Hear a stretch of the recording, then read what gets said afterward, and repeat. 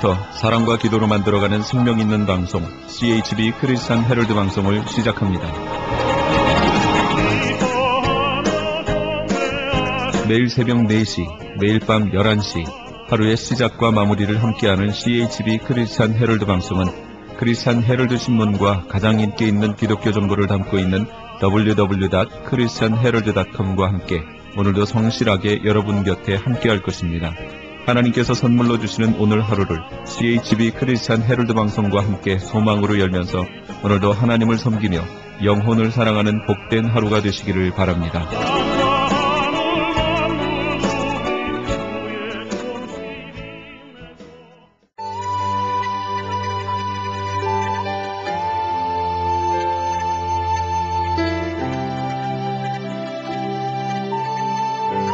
이 새벽을 주님과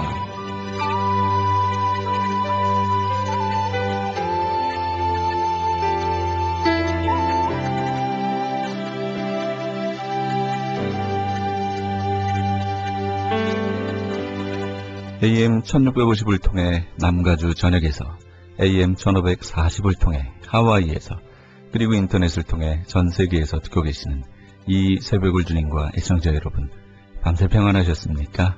이 새벽을 주님과의 정령철 인사드립니다.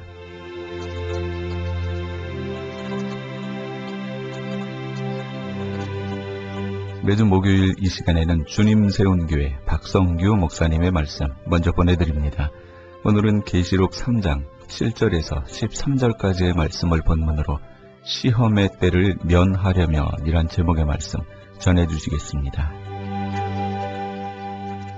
이 빌라델피아 교회 배경을 먼저 살펴봅니다. 빌라델피아 교회는 소아시아 일곱 교회 중에 하나입니다. 에베소, 스머나, 버가모, 두아디라, 사대, 빌라델피아, 라오디게아 이 소아시아 일곱 교회는 당시에 존재했고 현존 온 세계에 흩어지는 모든 교회를 향해서 일곱 교회 유형으로 나누어진다는 겁니다. 우리 교회도 그 유형 중에 하나일 것이고 우리 교회 안에도 일곱 교회 유형의 스타일의 신자들이 있다는 얘기예요. 나는 과연 또 우리 교회는 내 가정은 어느 교회에 속할 것인가? 저는 원컨대 여러분이 빌라델피아 교회 같이 되기를 축원합니다. 이 빌라델피아 교회는 빌라델피아라는 도시에 쓰어져 있었는데 중앙아시아의 고원지대예요. 농업과 목축업이 주업입니다. 주 17년에 대지진이 일어나서 도시가 폐허가 됐습니다. 샌프란시스코 한때 지진이 일어나서 예, 도시 전체가 폐허가 됐듯이 그러나 그 다음에 새롭게 이 도시를 세우는데 당시 로마의 티베리어스 황제가 재건을 시켰습니다. 그렇기 때문에 황제 숭배하기 위한 그 어, 황제의 상이 서 있고 황제 숭배가 의무화된 그런 도시예요. 또 우상 숭배뿐 아니라 유대교의 피팍이 극심한 곳인데도 불구하고 거기서 필라델피아 교회는 존재하면서 믿음이 잘 자랐고 소아시아 일곱 교회 중에 가장 규모가 작습니다. 교세도 약합니다.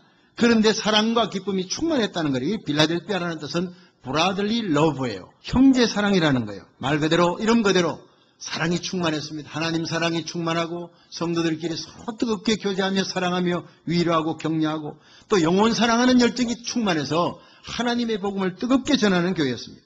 이 교회의 본질이 하나님 복음 전하는 구조선의 사명, 방주의 사명은 안에서 양육하는 겁니다. 이미 구원받은 성도를 양육하는 사명과 구조선 타고 나가서 그들을 건져내는 구원시키는 이 놀라운 사명을 잘 깨달아서 하나님의 뜻을 준행하고 말씀을 실천하는 교회라서 우리 주님께로부터 칭찬만 받은 거예요.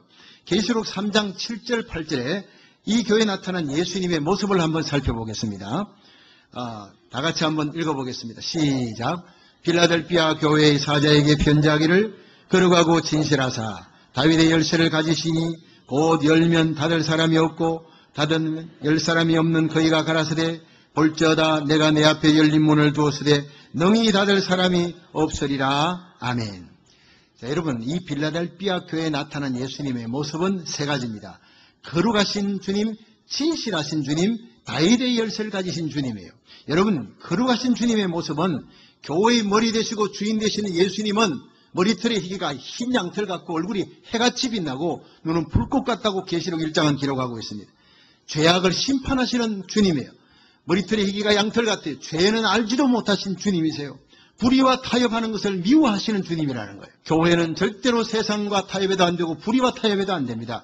성결한 그리스도의 신부가 되어야 될 줄 믿으시기 바랍니다.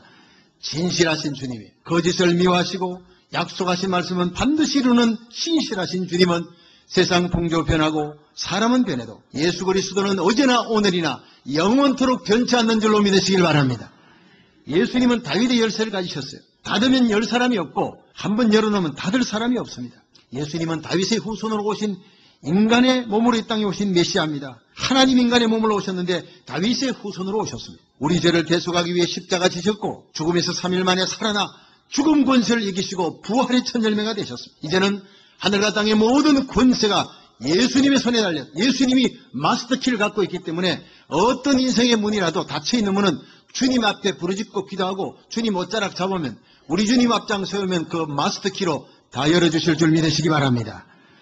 어느 아파트에서 아내가 문을 잠그고 이렇게 어디 시장 간 사이에 남편이 출근했다가 중요한 서류를 빠뜨리고 왔다는 걸 알고 집에 와보니 그 집에 철문이 잠겨 있는 거예요. 남편은 열쇠를 갖고 있지 않습니다. 아무리 애를 써도 안 돼요. 예. 이 남편이 씨름, 과거에 씨름 선수였는데 얼마나 힘이 좋은지 철문, 그런데도 철문이 끄떡도 안 하는 거예요. 속이 타서 발을 동동 구르는데 아내가 나타난 거예요. 그리고 남편이 그 철문 앞에 발을 동동 구르는 걸 보고 핸드백에서 열쇠를 꺼내가지고 철커덕 여니까 그 육중한 문이 촥 열리는 거예요.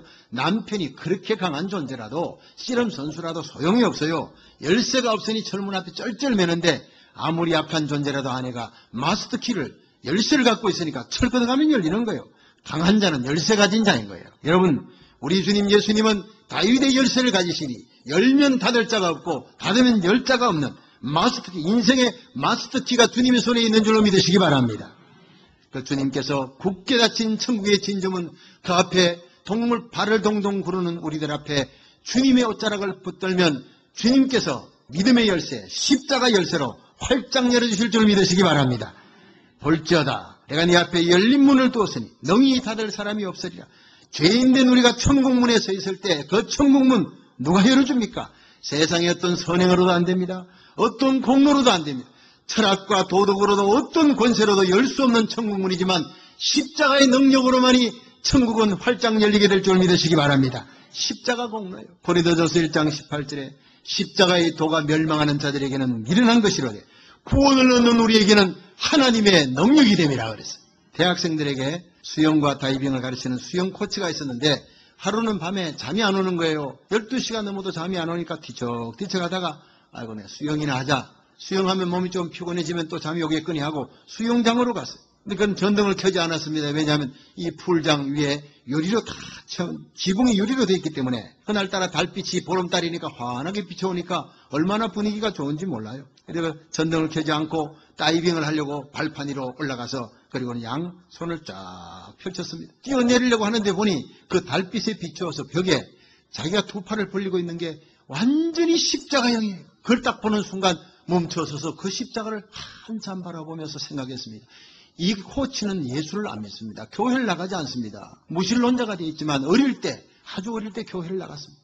그런데 그 달빛에 비친 십자가를 바라보는 순간 찬송가가 떠올랐어요. 우리를 죄에서 구하시려 주 예수 십자가 지셨으니 이 생각이 나면서 뛰어내릴 생각을 못하고 그 십자가를 하염없이 바라보다가 왠지 다이빙 하고 싶은 마음이 사라져버린 거예요. 그리고 천천히 천천히 십자가를 묵상하면서 내려와서 풀장 밑으로 내려오는데 그때 차고 딱딱한 감촉이 발바닥을 통해서 느껴지는 것을 느꼈습니다. 풀장에 물이 한 방울도 없다는 걸 내려와서 알은 거예요. 전날 밤 풀장 관리인이 물을 다 빼놓은 거예요. 예, 그것도 모르고 그 위에 올라가서 뛰어내렸다면 어떻게 될 뻔했는가? 아찔한 생각이 들었습니다. 다이빙 했다면 그것은 머리부터 뛰어드는 거니까 그냥 목뼈 부러지면 죽는 거죠. 죽음의 다이빙 아닙니까? 벽에 비친 십자가가 이 코치를 살린 거예요. 그는 그 자리에 무릎을 꿇고 내 목숨 건져주신 내 생명 건져주신 하나님 은혜가 너무너무 감사해서 풀당 바닥에 무릎 꿇고 흐느껴 울었다 했습니다. 그리고 그 자리에 아무도 보지 않는 그 자리에 달빛 아래서 풀장 바닥에서 두 손을 모으고 예수 그리스도를 눈물로 구주로 영접하는 시간을 가졌습니다. 남은 일생을 주님을 위해 살겠다고 그렇게 고백했습니다. 할렐루야! 십자가는 우리를 구원하시는 하나님의 능력인 줄로 믿으시길 바랍니다.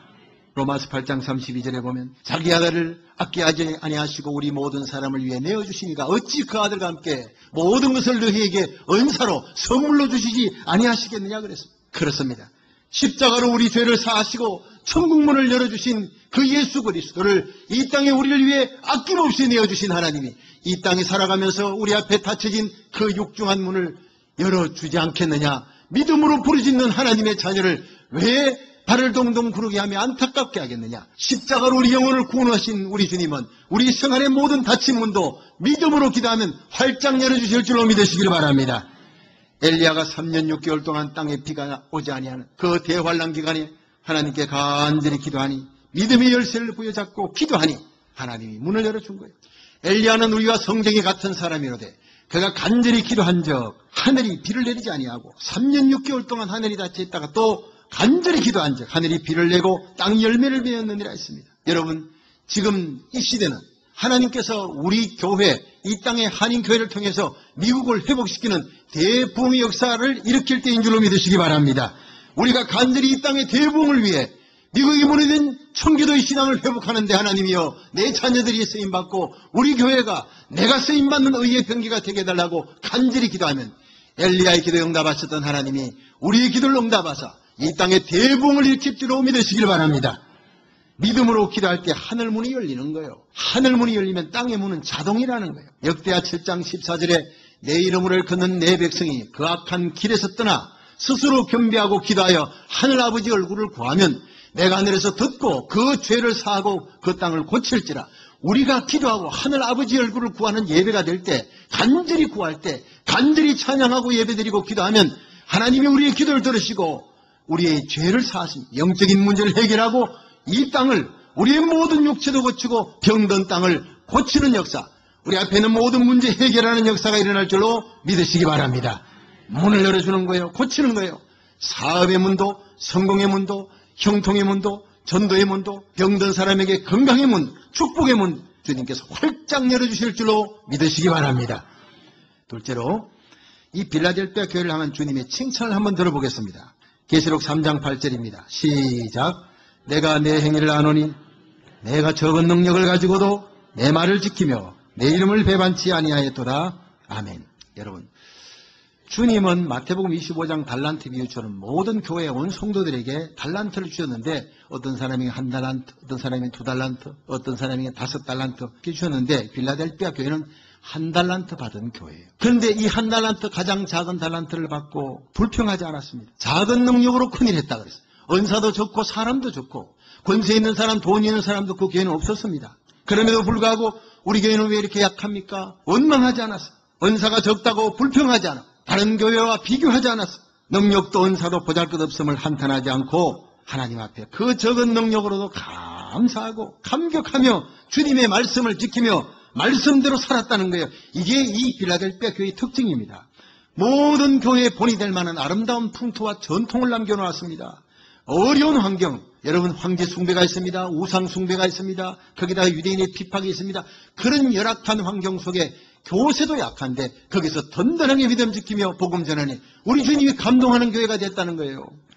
이 빌라델피아 교회는요. 내 말을 지키며라는 그 말씀을 받았어요. 주님의 말씀을 가슴에 간직했어요. 가슴에 불이 있는 교회. 말씀대로 살겠다고 그 험악하고 음란하고 폐역한 세상 속에서 거룩하게 성결하게 살아가려고 온갖 유혹과 신을 이겨내는 그리스도의 거룩한 신부 같은 교회였다는 거예요. 어떤 성도가 저에게 그래요. 목사님 드라마 하나가 나왔는데 너무너무 재밌었어요. 이걸 안 보리라 목사님 연초에 참 이렇게 가정에서 일천번째 예배 드리라 했는데 이걸 못하고 이거 끝나면 드라마 끝나고 난 다음에 내가 하려고 준비하고 있어요. 근데 이것만 보면 다시는 안 보고 성경 읽으라 결심했는데 아 그냥 가게 가니까 이거 한번 보세요. 그래가지고 다음 드라마 나오는 시작이래 봤더니 더 재밌대요. 이래가지고 지금 못 건드려 어떻게 하면 내가 끊을 수 있겠습니까? 라고 얘기하는데요. 그때 제가 그랬습니다. 집사님 저녁에 일찍 주무세요. 예, 마치고 와가지고 TV 보니까 드라마 보니까 막 저녁 12시 넘어가는 거예요. 그러니까 몸도 손하고 그 다음날 직장 나가야 돼. 일찍 주무세요. 9시, 10시 딱 주무시면 그 다음 새벽 기도 나오세요.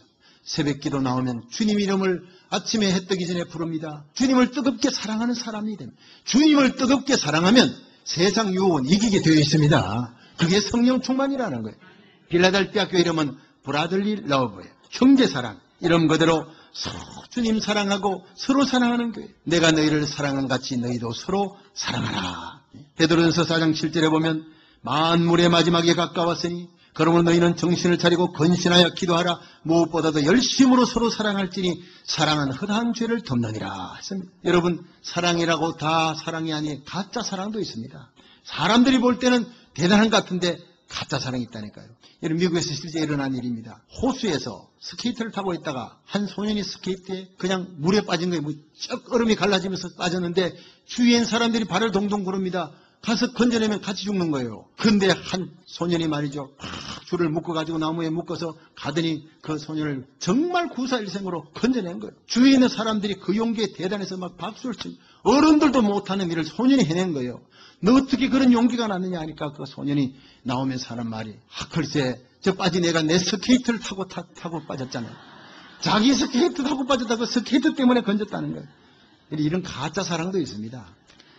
유토피아를 저술한 토마스 모가 사형언도를 받고 마지막 재판관 앞에서 최후 진술을 하게 됐는데 이 재판관에게 이렇게 얘기했습니다. 재판관님, 마지막으로 내가 하고 싶은 말은 천국에서 당신과 친구로서 내가 만나고 싶습니다. 당신은 지금 내게 사형언도를 내리지만 스데반을 죽인 사울이 예수님을 만나 바울이 되고 변화되어 복음 전하다가 마지막에 천국 갔을 때 스데반의 손잡고 함께 황금길을 걸어가고 있었던 것처럼 나도 천국에서 당신과 만나 함께 손잡고 우리 하나님의 보좌 앞으로 가기를 원합니다. 재판관이 의아한 거예요. 이 토마스 모를 향해 내가 지금 당신에게 사형을 언도하고 있는 사람인데 어찌 당신은 나에게 그런 호의적인 말을 합니까? 이럴 때 토마스 모는 웃으면서 예수님이요. 예수님이 먼저 나에게 그렇게 사랑해 줬기 때문에 나도 당신을 사랑할 수가 있습니다. 할렐루야. 이것이 아가페 사랑입니다. 교회에서 우리가 하는 사랑은 아가페 사랑. 또한 빌라델피아 교회는 영원 사랑하는 열정으로 어려운 가운데서도 선교사 보내고 뜨겁게 전도하고 어려운 중에도 나도 어려운데 더 어려운 사람을 구제했다는 거예요. 우리 교회가 이 성전 들어오기 전에 입당하기 전에 경제 공황은 시작되고 모든 것을 긴축해야 되고 장로님들이 거의 일주일에 몇 번씩 모여서 구조 조정을 하기 위해서 머리 삼아야 될 때도 있었습니다. 그러나 다른 거는 줄이되 우리는 선교사를 줄여서는 안 돼요. 선교사에게 지원하는 거, 그 숫자 절대 줄이면 안 됩니다. 액수는 조금 낮추어도 다시 회복할 수 있도록 숫자는 그대로 두세요. 파송 선교사는 물론 우리가 돕는 선기지 교회 수를 절대 줄이지 않기로 당해서 결정했습니다. 할렐루야. 이것이 교회의 본질입니다. 우리가 주님이라면, 주님이 기뻐하는 선교와 구제, 베푸는 일이라면 주님이 우리를 해주는 거예요. 주라 그러면 돌려줄 것이니 누르고 누르 넘치도록 채워주리라 했어요. 먼저 그 나라와 그 일을 구하면 나머지는 우리 하나님이 책임져 줄 줄로 믿으시길 바랍니다. 주님은 말씀을 지키며 살아가는 교회를 환란 가운데서도 지켜줄 것을 약속했습니다. 빌라델피아 교회는 작은 능력으로도 주님의 말씀을 지켰습니다. 우리가 주님의 말씀을 지킬 때 하나님이 건물도 주시고 이 한 블록도 선교관, 교육관, 복지관, 안식관 할 수 있도록 하나님이 넉넉히 주실 줄 믿으시기 바랍니다. 하나님의 기적은 우리가 어려운 가운데서도 베풀 때 기적을 체험하는 거예요. 필라델피아 교회의 또 다른 칭찬은 따라합시다. 내 이름을 배반치 아니하였도다. 신앙의 절기를 지킨 교회입니다.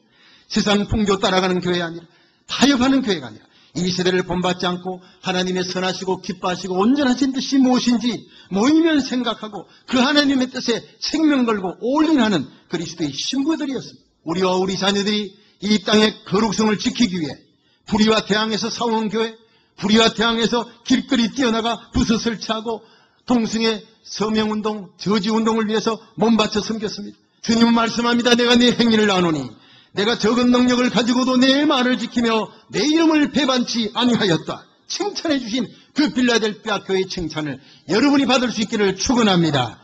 우리 성도들이 이렇게 빌라델피아 교회처럼 신앙의 절개를 지켜 작은 능력으로 큰일 할 때 우리 주님께로부터 존귀되는 역사가 일어날 줄로 믿습니다.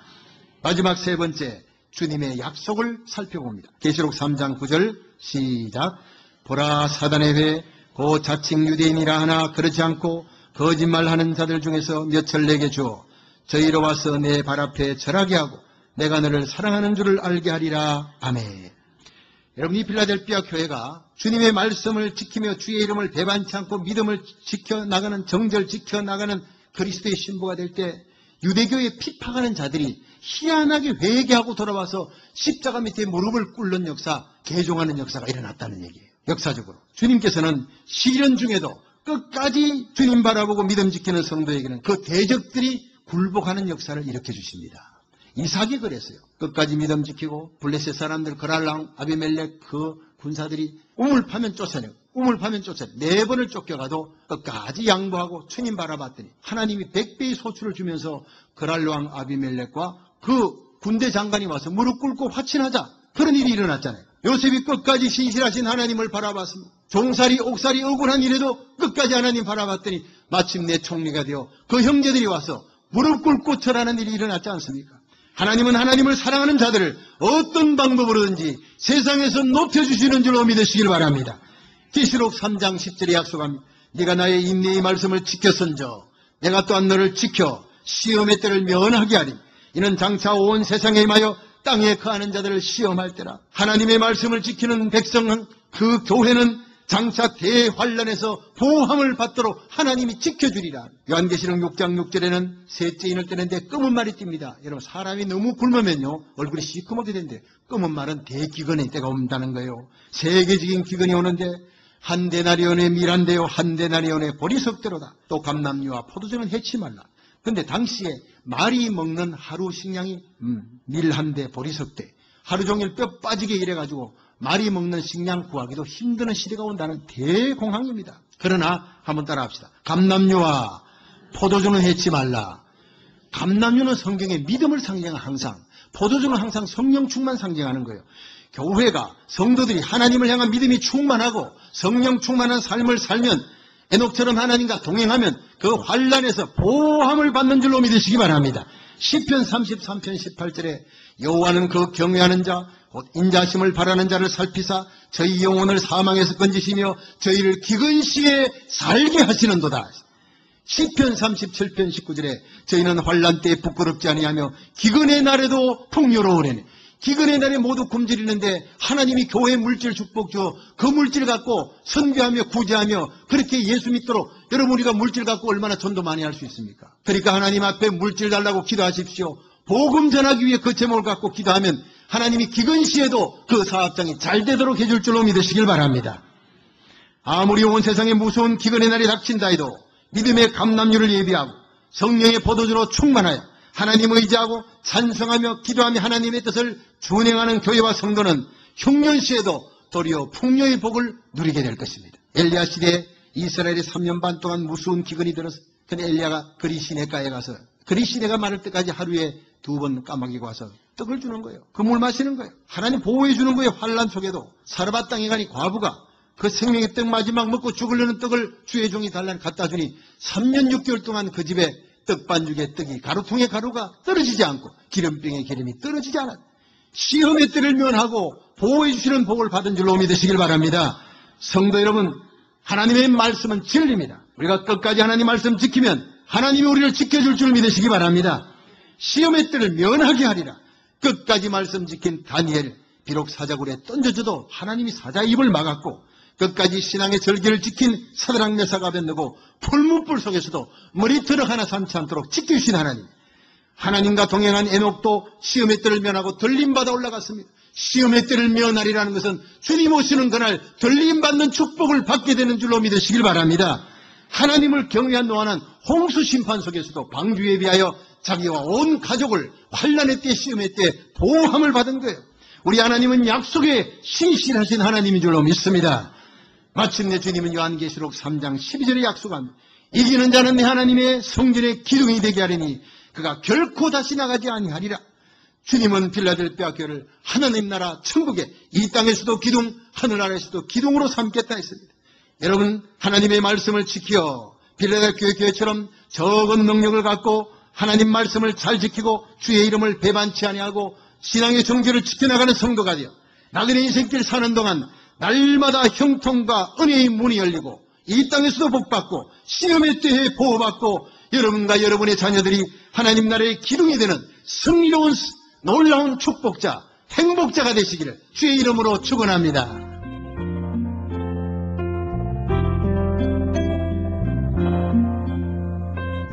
지금까지 주님 세운 교회 박성규 목사님께서 시험의 때를 면하려면 이란 제목의 말씀 전해주셨습니다.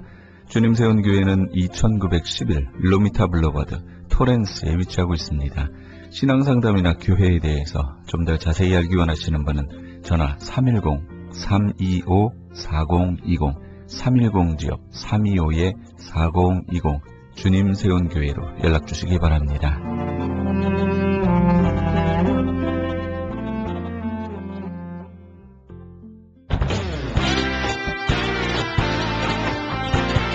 크리스천 헤럴드 전속 선교 합창단 창단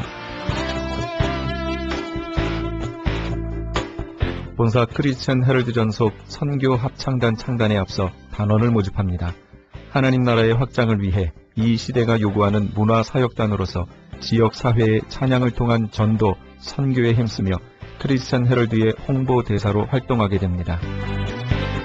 활동 내역은 연중 1, 2회 정기 연주회, 정기적인 섬김과 나눔의 연주 활동, 선교지 방문 찬양 사역, 전문성과 영성 개발을 위한 주기적 교육 및 세미나 개최 등을 할 예정입니다.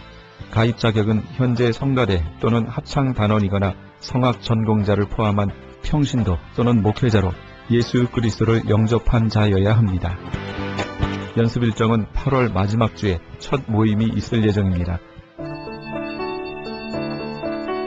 크리스천 헤럴드 전속 선교 합창단에 가입하셔서 하나님과 지역사회와 이웃을 섬기기 원하시는 분은 213-353-0777 213 지역 353-0777번이나 press at christianherald.com press press at christianherald.com으로 연락 주시기 바랍니다.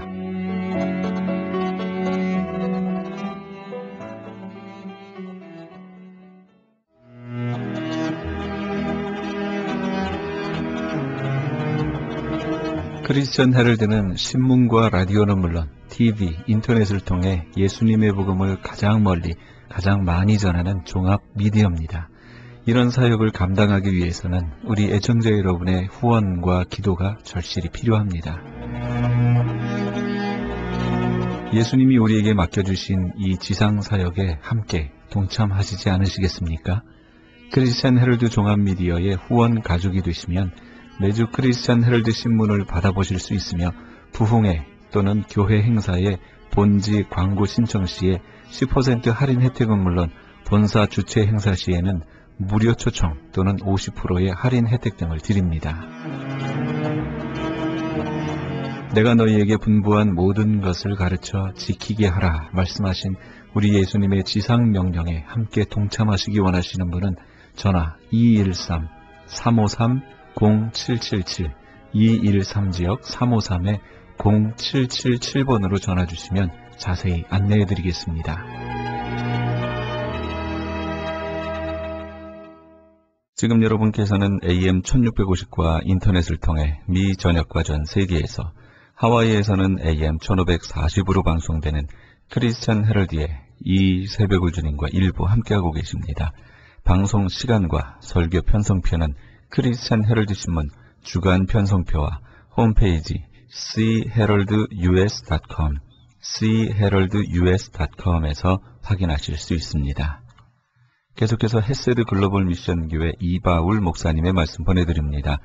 오늘은 창세기 29장 31절에서 35절까지의 말씀을 본문으로 위대한 신앙의 원천이란 제목의 말씀 전해주시겠습니다.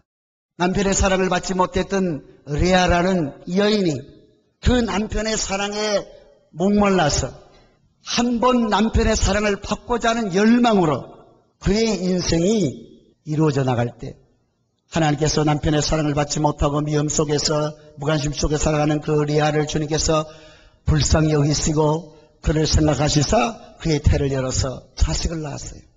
첫째 아들이 루벤이었습니다. 그리고 둘째 아들이 시몬이었어요. 셋째 아들은 레이, 그리고 넷째 아들 유다. 이 유다를 낳고 나서 하나님을 찬양을 했더니 그의 생산이 멈추었다. 왜 멈췄을까? 나중에 두 아들 또 낳습니다. 그런데 왜 하나님께서 줄려면 그냥 열두 아들 다 줘버리지? 네 아들 주고 한참 있다가 두 자녀를 또 주고 그렇습니까? 왜 성경은 오늘 본문 마지막 절에서 이 레아가 유다를 낳고 이제는 내가 하나님을 찬송하려다 하고 그의 생산이 멈추었다 이렇게 표현하고 있을까요? 왜 멈추었다라는 말을 쓰고 있을까요? 여러분 성경 말씀을 우리 읽다 보면 그 한 절 한 절 그 한 단어 한 단어가 얼마나 선택해서 하나님의 말씀을 선포했는지를 우리가 알아야 되는 것입니다. 그래서 의미 없는 말씀이 하나도 없어요. 쉽게 말하면 유다를 낳고 리아의 생산이 멈췄다라는 의미는 하나님은 그 리아를 통해서 위대한 역사를 완성했다는 것을 믿으시길 바랍니다. 그것이 뭐냐? 위대한 네 가지 신앙, 네 가지 단계를 통해서 위대한 신앙이 어디? 여러분 첫 번째 이 루벤은 뭘 의미하냐면 믿음의 단계, 믿음의 단계. 루벤을 낳고 그 리아가 고백하기를 보라 아들이다 아들이다.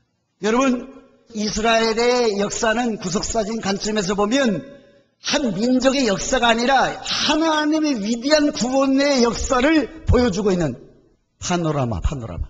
단지 리아가 남편에게 보라 당신의 아들이라고 그랬는데 하나님은 한 여인의 그 고백으로만 보지 않고 이것이 바로 장차 하나님께서 이를 구원하시는 이 믿음의 단계에서부터 출발하는 이 신앙의 네 가지 단계를 리아를 통해서 그의 자녀 네 아들을 통해서 보여주고자 했던 것입니다. 당신의 아들을 것은 믿음, 믿음. 두 번째 시몬은 뭐예요? 기도를 상징합니다. 기도의 단계. 내가 간구했더니 하나님 나의 기도를 들으시고 내게 이 아들을 주셨다 해서 시몬 들으신 들으신 뭐예요? 하나님이 기도에 응답했다. 기도의 단계. 세 번째는 내일을 낳고 리아는 단지 개인적으로 내 남편이지는 내가 세 아들을 낳았으니 나와 연합하리라 한 몸을 이루리라 그랬는데 하나님은 레이를 하나님과의 연합 단계로 보고 있습니다. 그래서 하나님은 그 레이 지파를 하나님의 성막, 하나님의 성전에서 하나님과 연합해서 제사를 드리는 하나님의 성전에서 봉사하는 지파로 택한 줄 믿으시길 바랍니다. 우연한 게 아니에요. 그리고 마지막 단계는 찬양의 단계. 그것은 유다입니다. 자, 이런 네 단계를 우리가 오늘 말씀을 통해서 좀 더 나누고자 하는 것입니다. 첫 번째로 믿음의 단계. 루벤 하면, 아, 믿음의 단계구나. 여러분, 신앙이라는 것은 믿음의 단계를 통해서 출발하는 것입니다. 내가 한 가지 깨달은 게 있어요. 아직 거듭나지 못한 사람들은 예배 드릴 자격조차 없어요. 교회 와서 예배는 드리겠죠. 동참은 하겠죠. 그러나 하나님 편에서 보면 그 사람의 예배는 예배가 아닙니다. 예수님께서 이 땅에 오셔서 믿지 않는 사람들에게 야 하나님 전에 가서 예배드리라 이게 아닙니다. 물과 성령으로 거듭나지 않으면 하나님 나라에 들어갈 수 없다. 할렐루야. 믿음에 대해서. 물론 예배로 초청해서 그 사람들의 복음을 제시해서 그 사람들이 예수를 믿고 전도 쪽에서 복음을 맞춰서 또 와서 예배드리는 건 문제는 안 됩니다만 그러나 원칙적인 의미에서는 그 사람은 예수 믿지 않는 거듭나지 못한 사람은 구원받아야 할 전도 대상이지 예배 대상은 아닙니다. 믿음의 단계에서 믿음의 단계는 바로 우리 신앙의 출발인데 첫째로 믿음의 단계에서 뭐냐면 하나님은 우리 눈을 사용하게 합니다. 눈을. 우리 아들 자기 남편을 보- 바라보면서 보라 보라 보라 당신 눈을 열어 보라 믿음은 보는 겁니다. 할렐루야. 믿음은 보는 거예요. 누굴 보는 겁니까? 보라 아들이다. 바로 우리를 구원하시기 위해서 독생자 예수 그리스도 하나님의 외아들 예수 그리스도를 바라보라고 말씀하고 믿음의 출발은 눈을 통해서 먼저 출발하는데 그것은 믿음의 지혜 온전케 하신 예수 그리스도를 바라보면서 출발하는 것입니다. 예수 그리스도를 바라보지 않고 다른 걸 바라보는 믿음이 아닙니다. 그건 믿음. 그러므로 믿음의 단계에서 우리는 먼저 눈을 사용해야 됩니다. 그래서 2000년에 오셔서 죽으시고 부활하신 예수 그리스도 하나님의 아들 예수 그리스도를 봐야 될 줄로 믿으시길 바랍니다. 이미 믿는 우리 믿음의 신앙에 출발한 성도들도 일평생 우리는 믿음의 온전케 하신 예수 그리스도를 주목하고 바라봐야 돼. 그분에게서 우리가 다른 데로 방향을 틀거나 초점을 옮겼을 때 그때 우리 신앙은 나락으로 떨어지기 시작하는 것입니다. 두 번째로 믿음의 단계에서 눈을 사용했다면 그 다음에 뭐예요? 마음을 사용해야 돼. 마음. 로마서 10장 9절로 10절에 네가 만일 네 입으로 예수를 주로 신하고 하나님께서 그를 죽은 자 가운데 살리신 것을 네 마음에 믿으면 네 마음에 믿으면 구원을 얻으리니 사람의 마음으로 믿어 의이루고 입으로 신하여 구원에 이르느니라. 할렐루야. 마음, 마음. 교회 와서 앉아 있지만은 마음이 하나님을 향해서 열리지 않습니다. 그 사람은 믿는 게 아니에요. 그러므로 눈을 사용하고 주님을 바라봤다면 이제는 마음을 열고 믿음으로 주님을 세 번째는 영접해야 됩니다. 할렐루야. 어디에? 우리 영, 영. 마음을 열고 주님을 인정했다면 세 번째로 우리는 주님을 영접하는 단계에서 뭐예요? 우리 영혼에다가 담, 주님을 영접하는 거예요. 마음이 아니에요. 마음이 아니에요. 오늘날 많은 사람들은 마음으로 주님을 모시고 삽니다. 사랑이란 마음은요, 조속으로 바뀝니다. 좋을 때도 있고, 나쁠 때도 있고, 기쁠 때도 있고, 슬플 때도 있기 때문에 그 마음이 언제 어떻게 바뀔지 몰라. 그 마음 속에 주님을 모시면 주님이 불안해서 살 수가 없어. 할렐루야.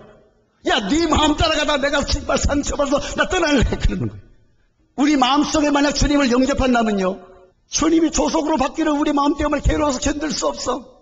그렇기 때문에 주님은 우리가 주님을 마음으로 인정하고 그분을 영접한다는 것은 우리 영혼 속에 할렐루야 영 속에 영접하는 자, 그, 그 이름을 믿는 자들에게는 하나님의 자녀가 되는 권세를 준 영접하는 겁니다. 할렐루야 어디에 우리 영혼 속에 우리 영에 하나님 형상으로 지음을 받았던 우리들이 죄를 짓고 부패하고 타락해서 우리 영이 타락하고 부패하고 죽어버렸어요.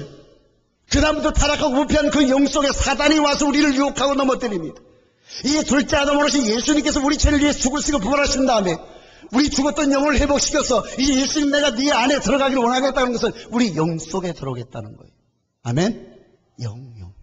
그래서 마음속에 주님을 영접하는 게 아니라 우리 영 속에 하나님의 형상으로 신받은 그 영 속에 주님을 진정으로 모셔드리고 영접할 때 그 주님은 성령과 함께 영원히 떠나지 않습니다. 그 사람이야말로 진짜 거듭난 사람이 되는 것입니다. 우리 영이 거듭날 때 이제부터는 뭐예요? 믿음으로 사는 거예요. 할렐루야. 그게 믿음의 단 출발, 눈으로 보고 마음으로 주님을 인정하고 내 영 속에 주님을 영접할 때 우리는 진정으로 거듭난 하나님의 자녀 믿음의 사람이 되는데 이 믿음의 사람은 믿음으로 살지 않고는 견딜 수가 없어요. 그때부터 우리는 믿음의 법칙을 따라 사는 것입니다. 믿음의 법칙이 뭐예요? 믿음으로 바라보는 거죠. 하나님께서 아브라함에게 아브라함에게 내가 너를 큰 민족을 이루고 큰 민족을 이루겠다고 창대케하겠다고 약속했지만 아브라함이 하나님의 부르심을 받고 벌써 25년이 다 되도록 바닷가의 모래같이 하늘의 별같이 창대케 창대케 되기는커녕 아들 단 하나 한 자식도 없어. 그러나 아브라함은 믿었어요. 왜? 하나님이 해변의 바닷가의 모래를 보면서 네 자손이 이렇게 되리라. 하늘의 별을 바라- 보여주면서 네 자손이 이렇게 창대케 되리라. 그때 아브라함은 어떻게 했다고 그랬어요? 별을 보면서 아이고 내 자식들아 할렐루야 그 수많은 별이 자식으로 보이기 시작했어요 그래서 하나님께서는 그 아브라함과 그의 아내 사라에게 자식을 주기 전에 아브라함아 너는 이제는 아브라함이요. 사라야 너는 이제 사라라. 아브라함의 이름은 열국의 아비가 될 것이고 사라의 이름은 열국의 오미가 된다는 거예요. 자식도 하나도 없는데 열국의 아비 오미를 삼겠다고 그랬을 때 얼마나 기가 막히겠습니까. 그런데도 아브라함과 사라는 그때부터 서로를 바라보면서 당신은 열국의 아비야 아브라함. 사라 당신은 열국의 오미야. 자식도 하나도 없는데 그렇게 고백하고 그렇게 바라봤더니 그렇게 된 줄로 믿으시길 바랍니다. 바라봄의 법칙.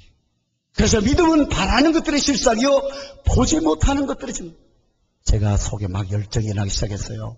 그 전에 우리 지체들이 와서 선예배를 드리고 그곳에서 이제 교회가 세워지기를 기도하면서 땅 밟기를 하고 기도했는데 그래서 저도 성경 항상 이사야서에 보면 네 장막터를 넓히며 네 저세희장을 아끼지 말고 넓히며 너희 줄을 길게 하며 너희 말뚝 견고할지라 이런 네가 좌우로 퍼지면 네 자손이 열방을 넘으며 황폐한 성읍대로 사람이 될 것이다 하면서 돌면서 그 지역을 돌면서 땅 밟기를 했는데 7월 며칠 날 되면 우리가 몇 주년인데 그때부터 우리가 이제 작정 사실 돌아가면서 릴레이 금식도 하고 하면서 이제 매일 가서 땅 밟기 할 거예요. 땅 밟기. 바라보는 거예요.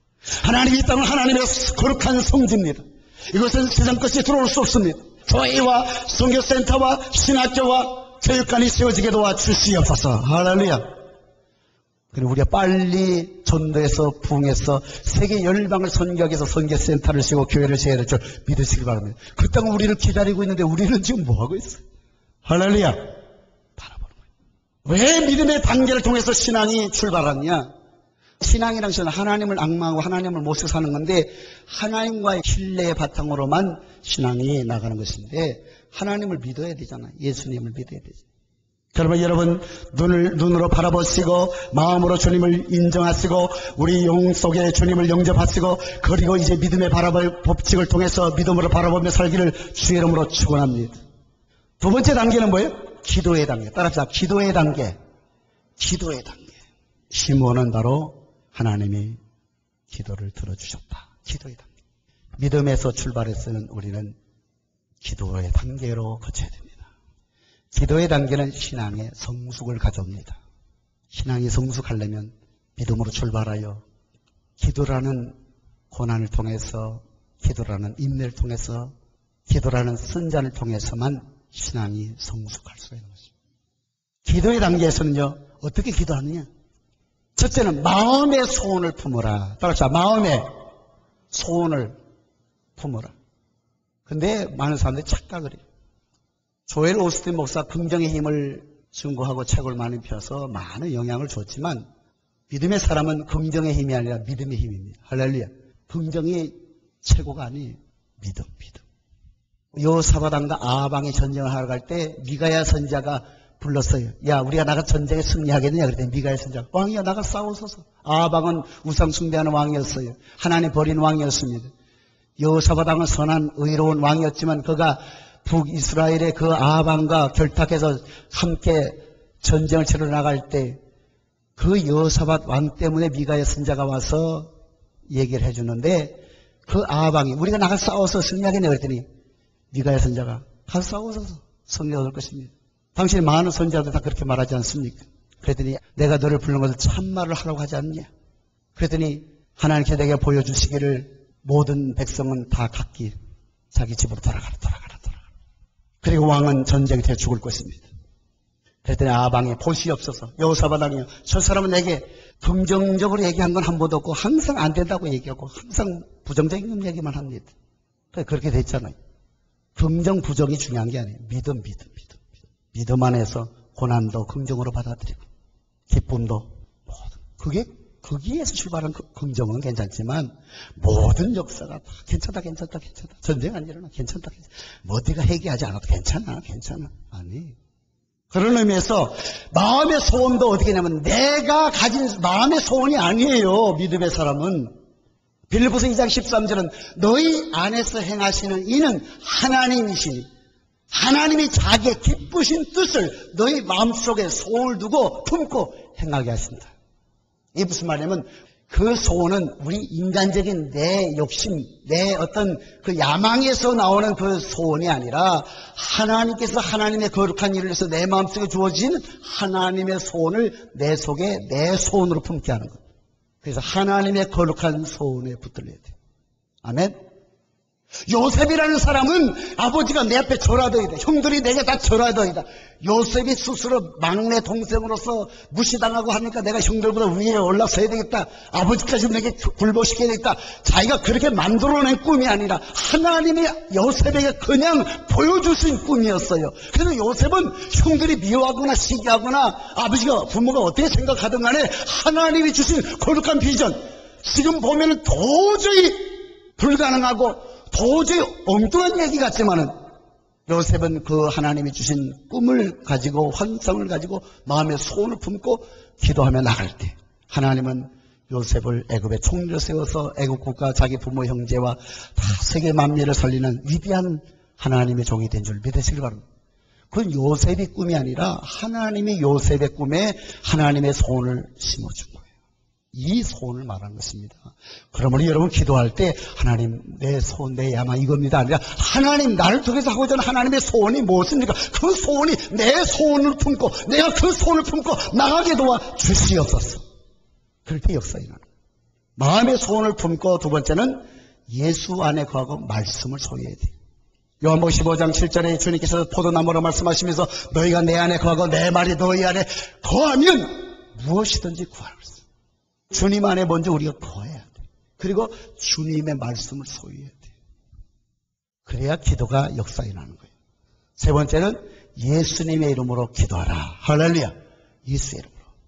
네 번째는 믿음으로 구하라. 기도하는데 기도 많이 하든 적게 하든 중요한 게 아니라 그보다 더 중요한 건 뭐야? 믿음으로, 믿음으로. 우리는 기도는 하지만은 믿음이 고갈된 상태에서 기도할 때가 많아. 그 하나님이 응답해 준다는 확신을 가지고 기도한다면 역사에 날 겁니다. 너희 중에 지혜가 부족한 자가 있거냐? 꾸짖지 아니하세요 후히 주시는 하나님 구하라! 오직 믿음으로 구하고 의심하지 말라.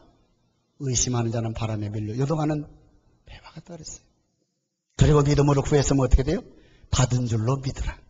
위대한 역사를 일으켰던 교회와 목회자들과 성도들은 바로 이 기도 중에서도 기도하면서 이미 하나님이 응답해주고 이미 그 기도를 바라보며 기도한 것이 이미 응답되어 준 줄 받은 줄로 생각하고 기도했다는 거죠. 하나님, 내가 이렇게 구했는데 하나님 벌써 내 마음에 이런 감동을 주고 이미 준 줄로 믿습니다. 마지막으로 기도해야 되는 것은 뭐예요? 감사함으로 하래요. 아무것도 염려하지 말고 오직 모든 일에 기도와 간구로 너희 구할 것을 하나님께 감사함으로 아뢰라. 그래 모든 지각에 뛰어나신 하나님께서 너희 생각과 마음을 지켜주시리라. 할렐루야. 감사함으로 이렇게 할 때 뭐예요? 신앙의 성숙이 이루어지는 겁니다. 그러므로 신앙의 성숙을 이루기를 원한다면 여러분 기도의 값을 지불해야 될 줄 믿습니다. 세 번째 단계는 따라서 연합의 단계. 무슨 단계? 연합의 단계. 레이, 내 남편이 나와 연합하리라. 하나님 원하는 것은 레아야. 하나, 하나님 그랬어요. 네 남편이 너와 연합하는 게 아니라 네가 나와 연합해야 돼. 연합. 신앙에 있어서 믿음으로 주님을 믿고 신앙생활로 출발했다면 기도를 통해서 신앙의 성숙을 이루어가고 있다면 우리는 다음 단계 뭐예요? 하나님과 연합해야 돼, 연합. 나는 이 비밀을 알아. 연합의 단계만 이루어지면요. 물론 금요차라도 하고 금식도 하고 하지만은 그렇게 안 해도 될 때가 있어. 난 군대에서 그 생각을 했어. 그냥 하나님 보초 쓰다가 하나님 저 싸제 버스 좀 한번 타고 싶은데 하면 그냥 그냥 역사가 일어나요. 주님을 내 안에 모시고 너무너무 뜨겁게 군대 생활 33개월 나는 가는 날부터 유격훈련 가가지고 제대할 때까지 세 번 유격훈련을 했는데 요새 진짜 산에 보니까 유격훈련 하는데 아이고 내가 했던 걸 그대로 해. 똑같아요. 똑같아. 그런데 그 군대 생활에서 그렇게 고달프고 힘겨운 33개월 했지만은 그때 나는 하나님을 내 안에 뜨겁게 항상 폭개 성경은 군대 요만한 성경을 옆, 옆차에 놓고 밤에 부대 안에서는 그렇게 할 수 없지만은 야외 나가서 야외 나가도 군대는 다 포철 쏩니다. 그때는 후라시 들고 성경을 읽는 거예요. 얼마나 뜨겁게 주님을 사랑했니? 저는 군대에서 진짜 사랑해서 하나님을 만났어요.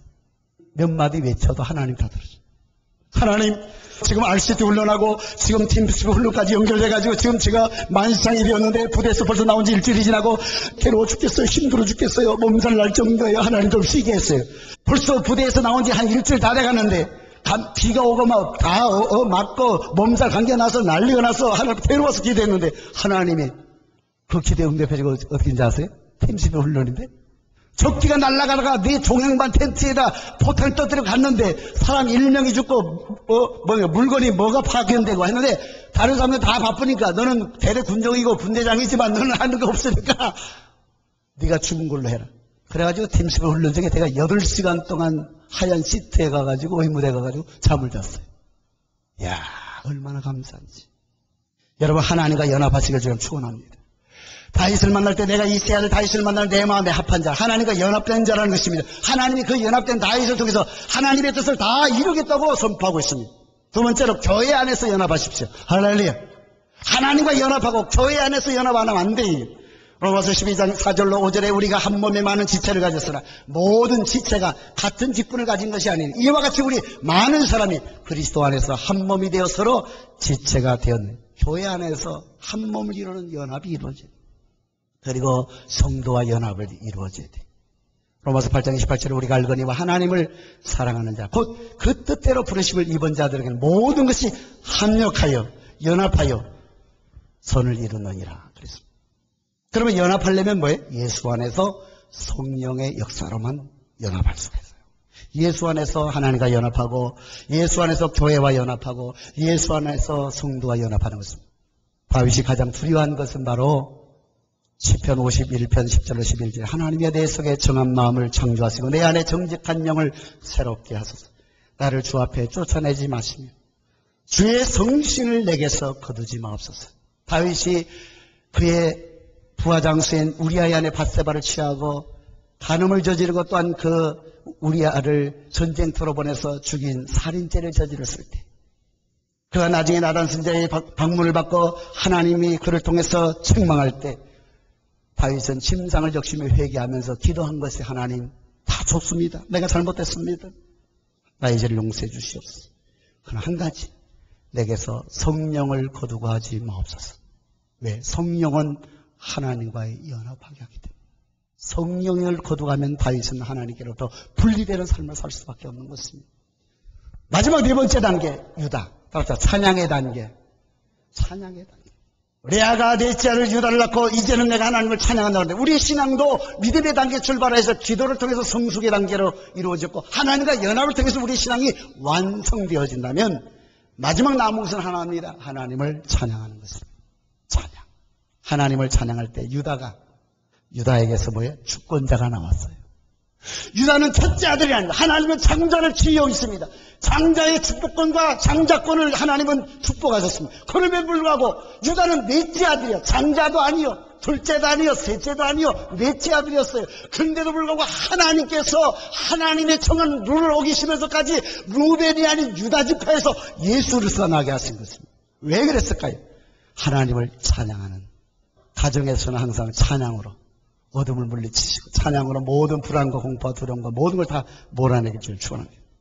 제가 섬에서 손목할 때는 맨날 성전 어, 기도하고 하루 종일 뭐냐면 그 조그만 염소 우리깡 어? 옛날 염소 우리였던 그 자리에서 다 치워버리고 그곳에서 맨날 찬양하는 거야. 찬송가 1장부터 쭉 제가 처음 예수 믿고 신학교 들어갈 때는 찬송가 중에 아멘 아멘까지 합쳐서 12곡밖에 모르는데 성경 보기에 먼저 찬송 12곡 해야 뭐 20번이면 끝나. 그 20곡을 하고서 나서 성경을 기, 도하고 나서 성경을 딱 읽었어. 섬에 가서 목회할 때도 사탄동에서 목회할 때 사탄동, 사탄동에서 목회할 때 거기서 할 수 있는 것은 기도하고 늘 하나님의 찬송하는 것밖에 없었습니다. 예수 믿는 사람 나밖에 아무도 없었어요. 그곳에서는. 그런데 하나님의 찬송을 통해서 그 지역이 변화버렸어요. 찬송, 찬송. 뭘 찬양하냐? 하나님의 성호를 찬양하시길 바랍니다. 하나님의 능하신 행동을 인하여 찬양하시길 바랍니다. 하나님의 통치를 찬양하시길 바랍니다. 하나님께서 베풀어 주신 구원을 찬양하시길 바랍니다. 여호와 지독하는 나의 의가 되신 하나님을 찬양하시고 나를 거룩하게 하신 여호와 막가되신 하나님을 찬양하시고 나를 버리지 않고 떠나지 않고 늘 입만으로 함께 하시는 여호와 삼마 하나님을 찬양하시고 내게 마음의 평안과 기쁨을 주시는 여호와 샬롬 하나님을 찬양하십시오. 그리고 내게 모든 필요를 공급해 주시고 모든 걸 준비하시고 내가 기도하기 전에 이미 모든 걸 다 준비하시고 책임져 주신 여호와 이레 하나님을 찬양하세요. 내가 병들었을 때 내 마음이 아플 때 나를 와서 치료해 주시고 위로해 주시는 여호와 라파 하나님을 찬양하세요. 내가 영적인 싸움을 하며 그 싸움에서 승리할 수 있도록 나의 깃발이 되시고 나를 승리케 하신 여호와 니시 하나님을 찬양하시고 우리의 삶을 처음부터 끝까지 인도하시고 책임져 주시는 여호와 로의 목자 되신 하나님의 이름을 찬양하시길 바랍니다. 할렐루야.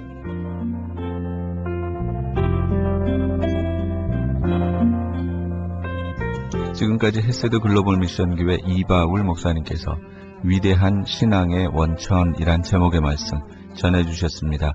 헤세드 글로벌 미션 교회는 피코와 켄모어가 만나는 곳에 위치하고 있습니다. 신앙 상담이나 교회에 대해서 좀 더 자세히 알기 원하시는 분은 전화 213-290-8612 213 지역 290-8612 헤세드 글로벌 미션 교회로 연락 주시기 바랍니다.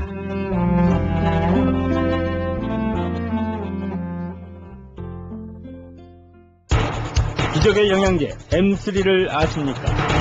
무슨 병에 걸렸던지 큰 효과를 준다는 그 신비한 기적의 영양제.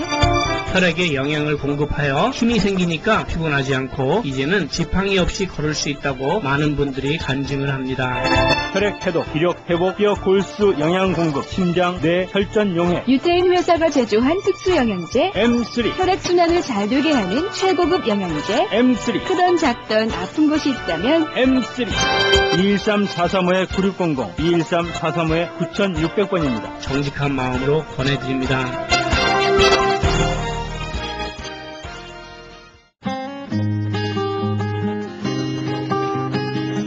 교계 게시판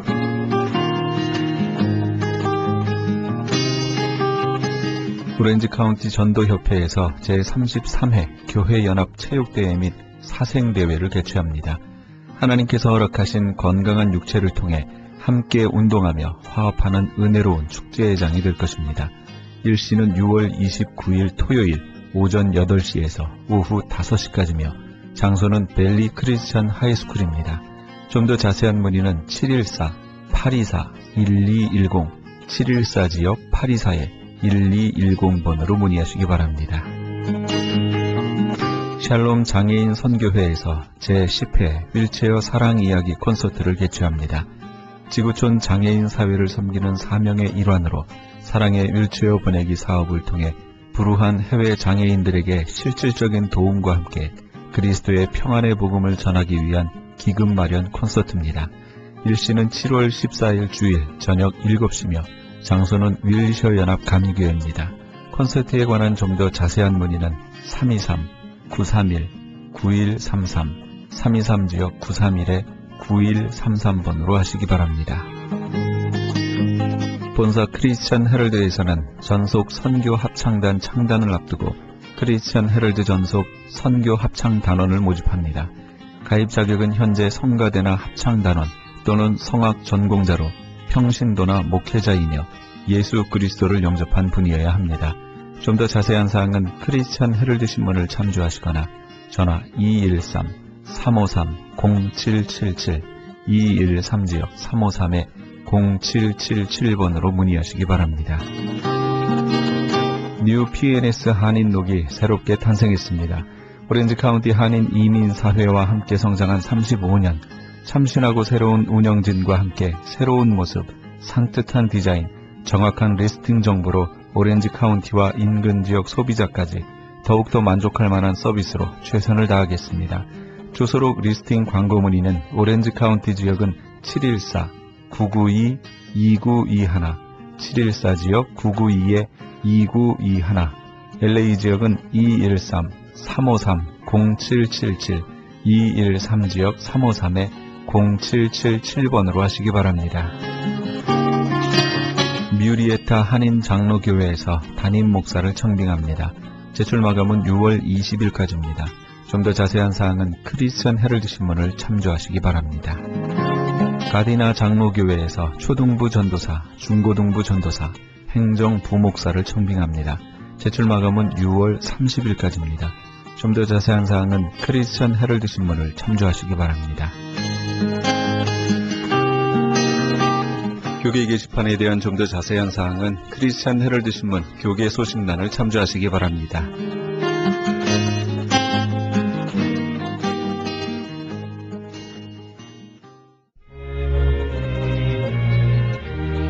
찬송 주 예수 다스리시는 함께 하시면서 이 새벽을 주는과 1부 여기서 마칩니다. 잠시 15 후에 2부에서 돌아오겠습니다.